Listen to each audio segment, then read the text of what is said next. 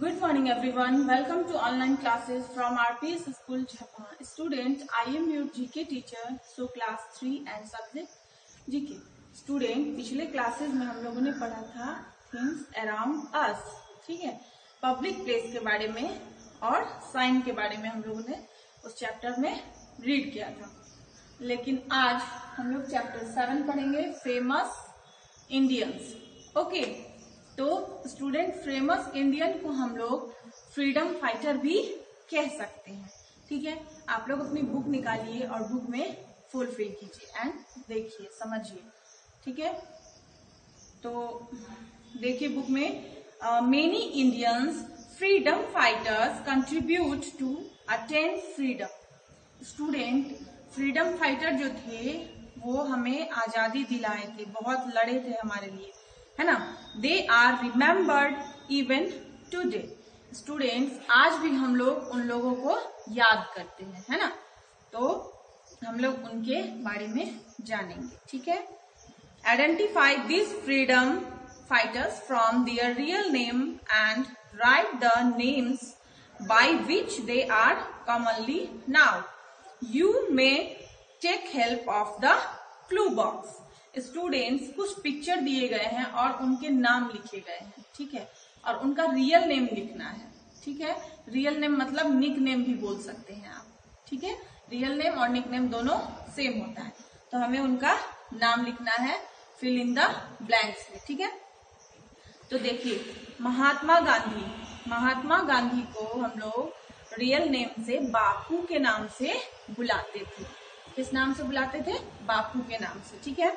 तो वन में लिखिए Bapu B A P U आप लोग नीचे क्लू बॉक्स में देखेंगे स्पेलिंग लिखा हुआ है, जिन जिन बच्चों को स्पेलिंग में प्रॉब्लम है, वो नीचे के क्लू बॉक्स से देख सकते हैं, ठीक है?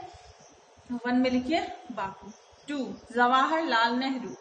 तो इन्हें हम लोग चाचा नेहरू के नाम से जानते हैं, ठीक है? थर्ड वल्लभ भाई पटेल, है ना? तो इन्हें हम लोग आयरन मैन के नाम से जानते हैं। किस नाम से?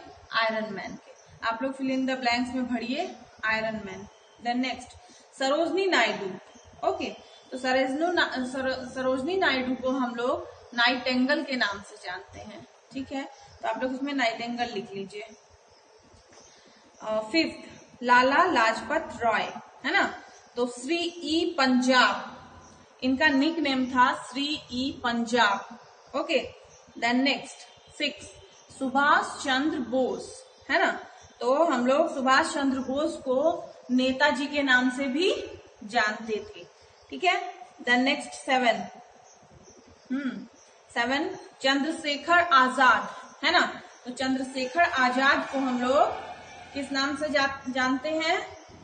आज़ाद के नाम से only for Azad okay then eight Bhagat Singh. तो भगत सिंह को हम लोग शहीद ई अजम के नाम से जानते हैं, ठीक है? इनका नेक नेम यही है। ठीक है? That is clear this chapter is complete ठीक है?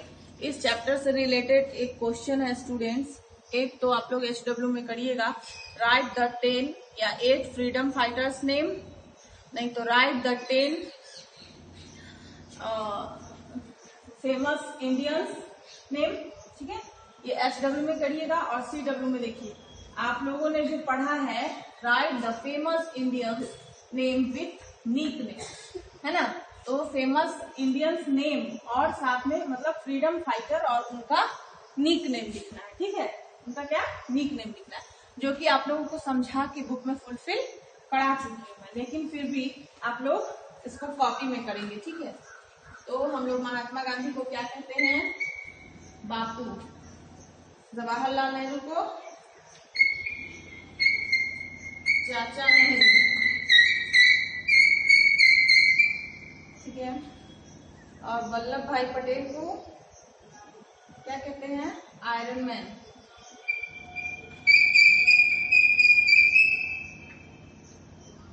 ठीक है। द नेक्स्ट सरोजनी नायडू को night angle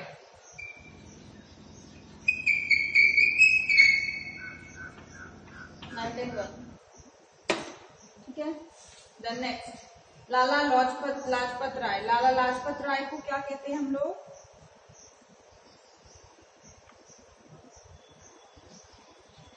Sher e Punjab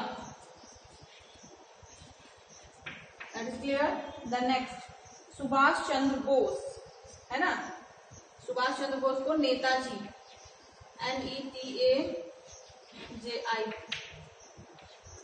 है then next Azad then last Shaheed